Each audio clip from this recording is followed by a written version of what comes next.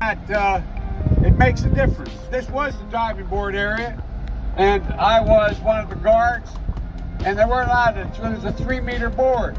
If you fell off sideways, you landed on the damn, uh, the darn cement over there.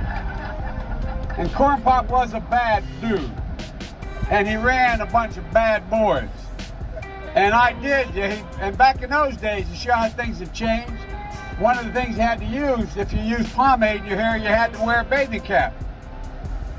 And so he was up on the board, wouldn't listen to me. I said, hey, Esther, you, off the board, I'll come up and drag you off.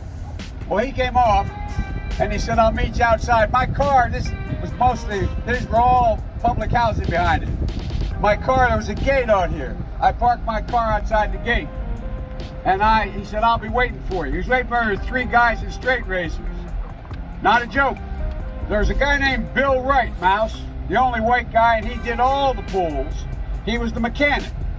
And I said, what am I going to do? He said, come down here in the basement where mechanics, where, where, where all the pool filter is.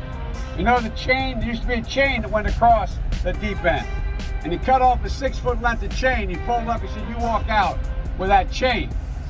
And you walk to the car and say, you may cut me, man, but I'm going to wrap this chain around your head. I said, you kidding me? He said, no, if you don't, don't come back. And he was right. So I walked out with the chain. And I walked up to my car. And they had, said those days, you used to remember the straight race, you'd bang them on the curb, get them rusty, put them in a rain barrel, get them rusty. And I looked at them, but I was smart then. I said, first of all, I said, when I tell you get off the board, you get off the board, I'll kick you out again, but I shouldn't have called you, Esther Williams. I apologize for that. I apologize, but I didn't know that apology was going to work. He said, you apologize to me? I said, I apologize for that, not for throwing you out, but I apologize for what I said. He said, okay, close the straight razor, and my heart began to beat again.